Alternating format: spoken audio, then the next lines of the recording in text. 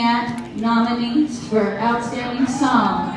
Ladies and gentlemen, Karma Dealers. This song was written about your daughter.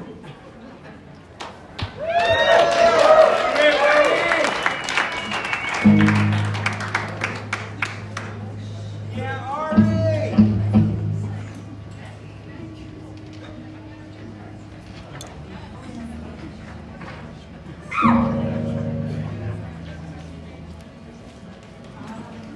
called White Horses.